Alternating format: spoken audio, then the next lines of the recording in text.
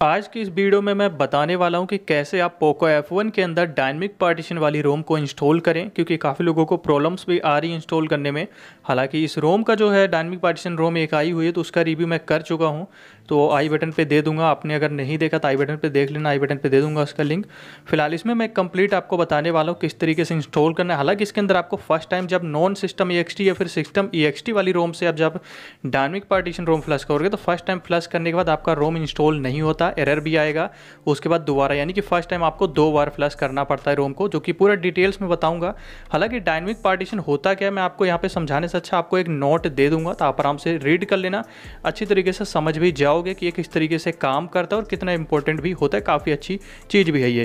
तो आपको यहाँ पे स्क्रीन पे मैं फ्लश कर दे रहा हूँ मैसेज तो आप जो है रीड कर लेना यहाँ पे कि डायनमिक पार्टीशन जो है बेसिकली बेसिकली होता क्या है एंड्रॉइड के लिए। तो यहाँ पे आपको ये मिल जाएगा और यहाँ पे मैं कंप्लीट कंप्लीट जो इंस्टॉलेशन हो तो आपको दिखाऊँगा ही। साथ साथ आगे भी कुछ लास्ट में कुछ इंपॉर्टेंट बातें भी रहेंगे जिनके बारे में बताने वाले। तो वीडियो में लास्ट तक बने रहेगा बिना स्किप के आपको करना है। ये काफ़ी इंपॉर्टेंट भी है, इसलिए स्किप मत करना वीडियो को।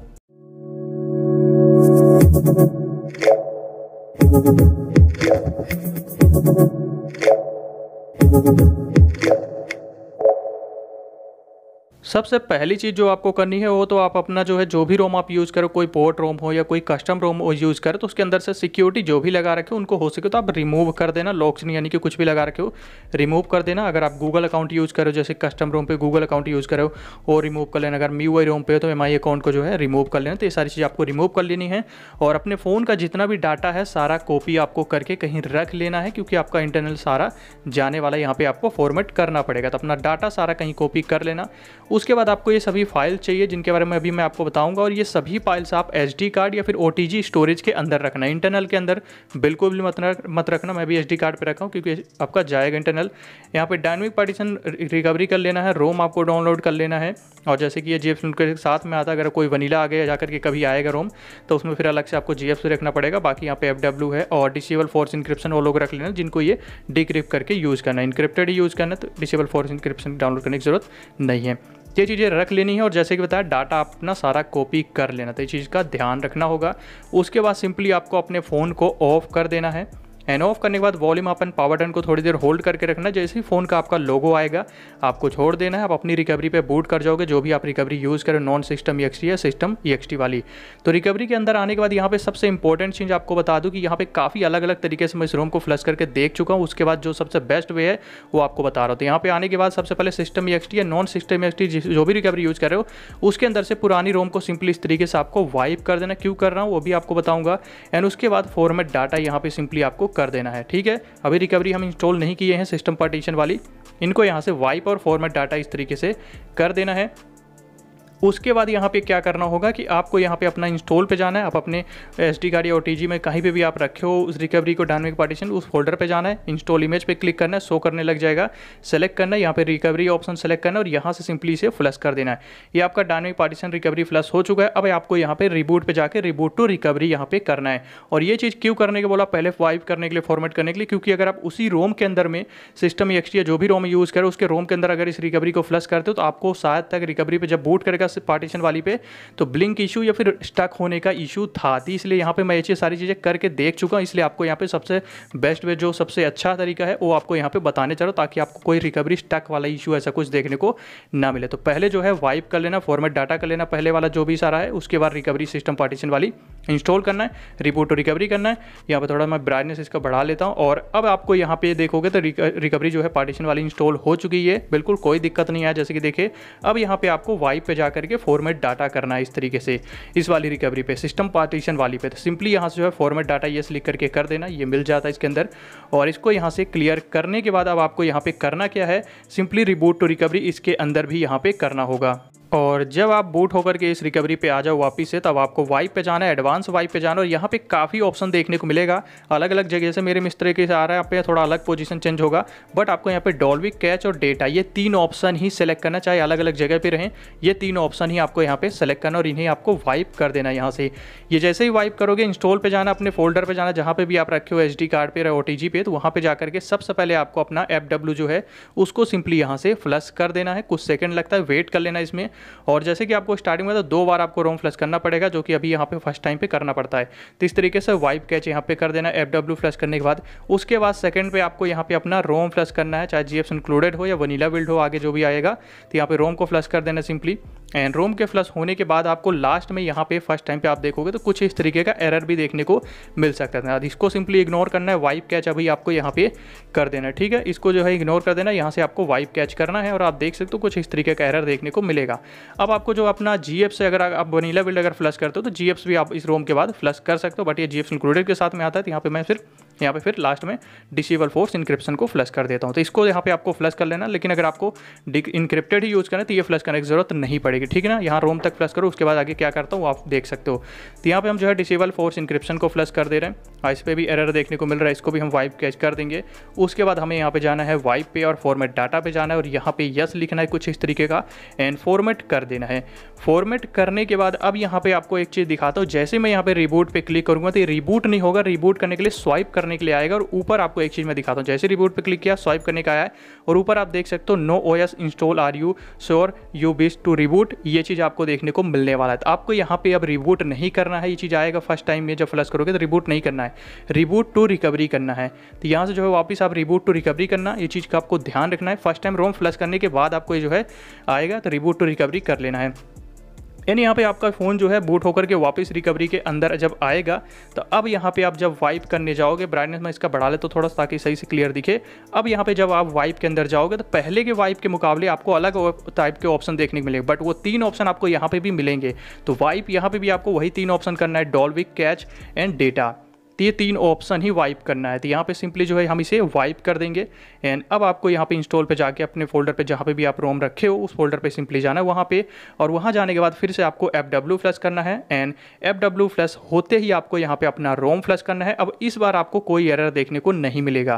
तो यहाँ पे इंस्टॉल पे वापस जाते हैं, अपने रोम को हम यहाँ पे फ्लश कर लेते हैं। और रोम भी जैसे ही कंप्लीट हो जाएगा तो यहाँ पे आप कट कर दे उतना टाइम ना लगे ताकि यहाँ पर रोम जैसे ही कंप्लीट होगा, आप देख सकते हो, कोई एरर इस बार देखने को हमें नहीं मिले है। तो यहाँ पे वाइप कैच कर देंगे। उसके बाद इंस्टॉल पे वापस जाएँगे और डिसेबल फोर्स इंक्रिप्शन को हम यहाँ पे फ्लश कर लेंगे। और जैसे कि बताया रोम अगर वनीला बिल्ड है तो रोम के बाद अपना जी एफ़ फ्लस कर लेना। जी एफ़ फ्लस करने के बाद डिसेबल फोर्स इंक्रिप्शन को। तो ये जैसे कि मैं जो फ्लश कर रहा हूँ जी क्लोर के साथ में आता है तो अलग से जी फ्लश करने कोई मतलब ही नहीं। तो यहाँ पे जो है आप फ्लश करोगे, आप डिसेबल फोर्स इंक्रिप्शन फ्लश करने के बाद यहाँ पे फेल टू माउंट देखोगे तो देखने को मिलेगा, और ओडीन वाला तो इसको आपको इग्नोर करना इससे आपको कोई दिक्कत नहीं होने वाला। तो इस वाले को आपको इग्नोर कर देना सिंपली डिसेबल फोर्स इंक्रिप्शन पर आएगा। तो वाइप कैच करना है। अब यहाँ पर आपको जो है फॉर्मेट डाटा सिंपली करना है। एंड फॉर्मेट डाटा करने के बाद में यहाँ पे जैसे ही आपका ये फॉर्मेट डाटा कंप्लीट हो जाएगा तो अब आपको यहाँ पे रिबूट पे क्लिक करके सिंपली रिबूट कर लेना है।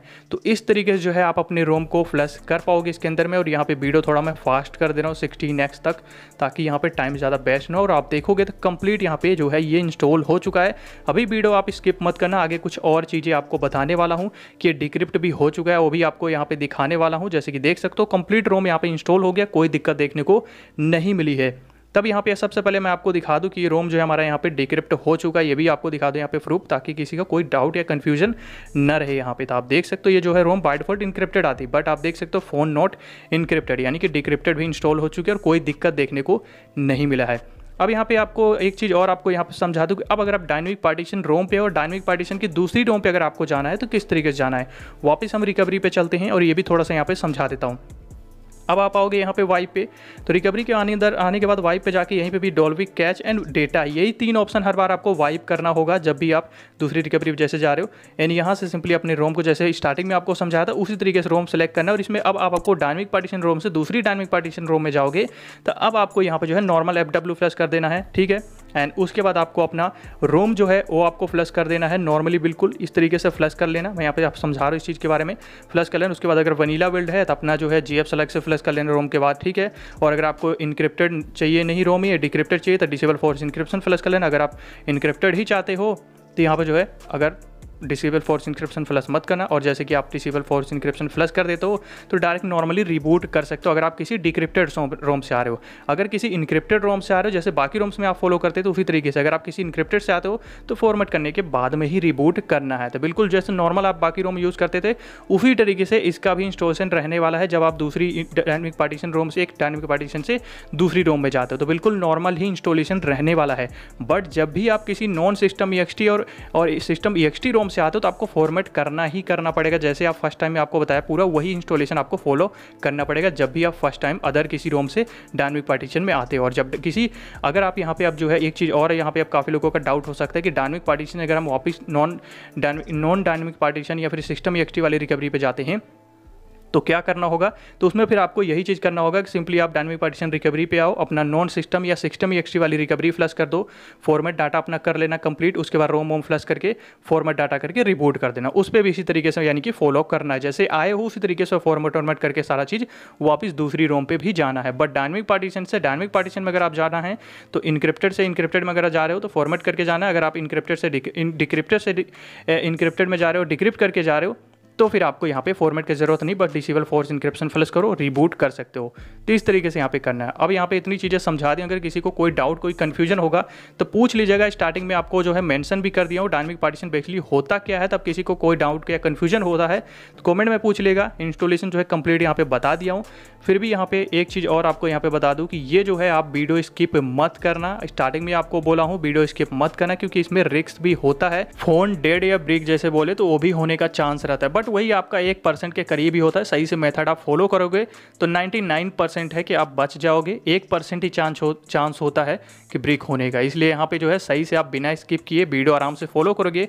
कोई डाउट कोई कन्फ्यूज़न नहीं होने वाला। और जैसे कि बताया अदर किसी रोम से पार्टीशन वाले में आते हो डायनमिक पार्टीशन में तो फ़र्स्ट टाइम रोम फ्लश करने के बाद रिबूट करोगे तो वहाँ पे स्वाइप जब भी आता है नो एस आएगा तो वापस आप जो है फॉर्मेट करके रिबूट और रिकवरी करके अपना जो है फॉर्मेट करने से पहले रिबूट और रिकवरी करके वापस वाइप करके रोम फ्लश करना, जो कि ऑलरेडी मैं यहाँ पे कंप्लीट बता चुका हूँ। बस आप स्किप मत करना वीडियो तो कोई दिक्कत नहीं होने वाली है। तो ये था फ़िलहाल यहाँ पे जो है डायनमिक पार्टीशन का इंस्टॉलेशन पोको एफ़ के लिए। आप कोई कन्फ्यूज़न होगा तो कमेंट में पूछ लीजिएगा और इतनी मेहनत के लिए वीडियो अगर आपको अच्छी लगे तो वीडियो को लाइक कर दीजिएगा। चैनल को भी सब्सक्राइब कर लीजिए और बेल आइकन को प्रेस करके ऑल पे कर लीजिए ताकि अगले वीडियो की नोटिफिकेशन आप सभी को मिल जाए। Thanks for watching.